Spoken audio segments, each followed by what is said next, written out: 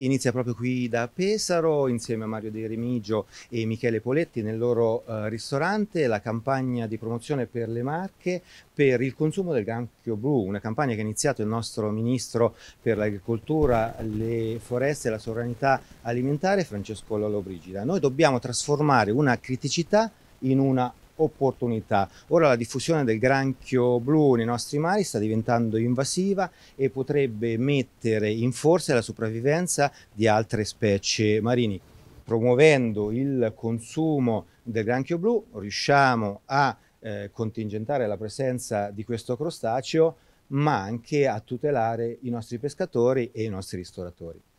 La nostra sensibilità a quello che sta accadendo alla, alla, pesca, soprattutto alla pesca delle vongole, quello che potrebbe essere il pericolo del granchio blu, ci ha portato a eh, inserirlo nel nostro menù intanto come piatto del giorno e in più in tutte le preparazioni in cui usavamo i granchi diciamo, più nostrani abbiamo sostituito col granchio blu. Questo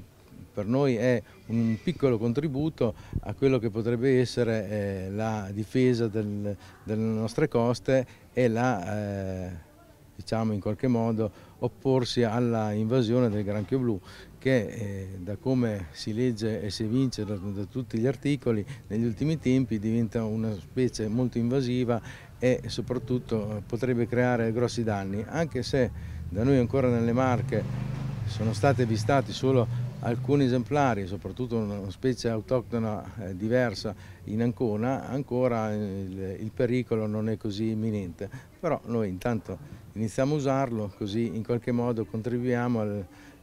al contenimento di questa specie e che eh, farà sì che magari prima o poi diventerà una specie aliena ma non così distruttiva.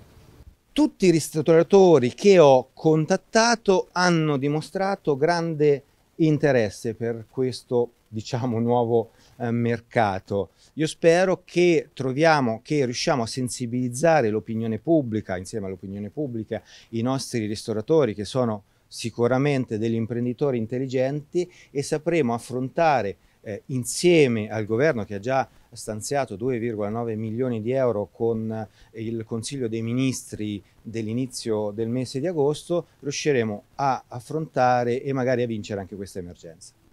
È un crostaceo che ha dei gusti leggermente diversi da un dal nostro granchietto solito, perché è leggermente più ferroso, quindi va, va, lavorato un pochettino, va cotto in una maniera che, ecco, che vada via un pochettino questo, questo, amaro che magari tende delle volte a spuntare da questo, da questo granchio. E, però è un granchio che si può utilizzare benissimo nelle nostre tavole, vengono fuori degli ottimi piatti e anzi eh, cioè noi adesso lo promuoveremo in modo che per fare due cose, uno perché è buono e due perché comunque sensibilizziamo la gente verso questo prodotto che crea dei danni e quindi diciamo che eh, facciamo due cose, due piccioni con una fava. Ecco. È un prodotto che sicuramente non ha un grosso costo, cioè, dire, si parla di, di, qualche, di, qualche, euro al chilo, eh, diciamo che un piatto di granchio blu è da considerare magari è come so, un, un, piatto uh, alle vongole o qualcosa del genere, quindi se uno fa un primo, fa un guazzetto, diciamo che una cosa equa intorno ai 12-13 euro per un primo e 7-8 euro per un antipastino di granchio blu o alla griglia o al vapore, un gazzetto, come uno lo vuole fare.